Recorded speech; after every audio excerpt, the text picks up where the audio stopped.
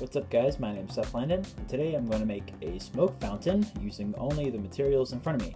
A paperclip, a sticky note, and a pencil. You don't really need the pencil, but it definitely helps. So let's go! Alright, so first off, go ahead and clear out all your stuff. Um, we need to start with a sticky note. So take a sticky note, sticky side up. I'm going to make little folds. So about that size.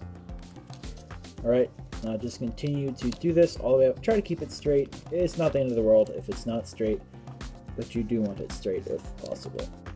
Um, do it all the way up to where it's sticky, and the stickiness should help keep it in place.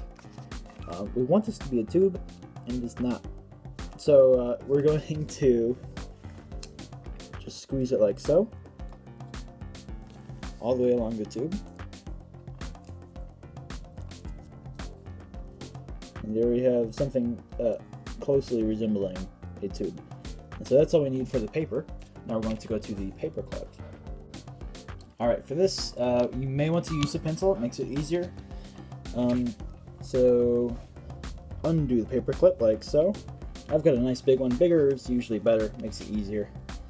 Um, now, like using your thumb, go ahead and twist it around the pencil at least once kind of making a spiral shape. You can unfold it some more if you need to. go. Leave a good bit left over though. Um, so go ahead and take it off now. You should have this sort of spiral shape on it. That's good. Um, then we're going to take, we're going to bend it down and bend it out. So it should be able to hold itself up like this. So make a little stand. That's good. Okay, so we take our paper, we're going to stick it in there. Um, a little loose. Uh, that should be okay though, because we're not going to be moving it around a whole bunch. There you go, and you can uh, make as many of these as you want, the paper things, um, and then you can just reuse the stand. And uh, let's go see how it works. I'll show you how to do it. Alright, so I've got it set up here. Um, hopefully you've made it like I have. Uh, I know it looks a little messy here, but that's only because it is. Uh, so go ahead and start I like to just kind of warm it up like so, and then light up the end here. Then you'll see out the bottom, smoke is going to start coming, like a little fountain.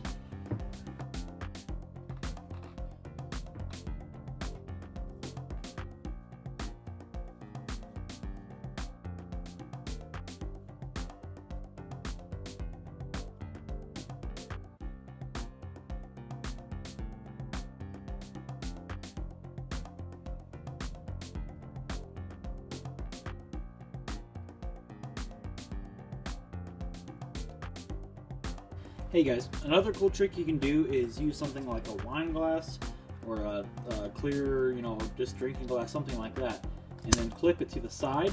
Um, if it's a nice glass, you know, don't be dumb, don't break it.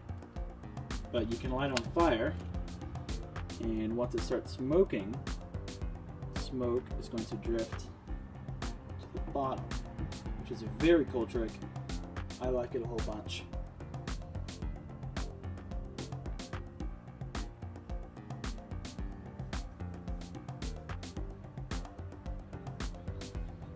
Anyway, that's most of it there, guys. Hope you enjoy it. Go do this at home.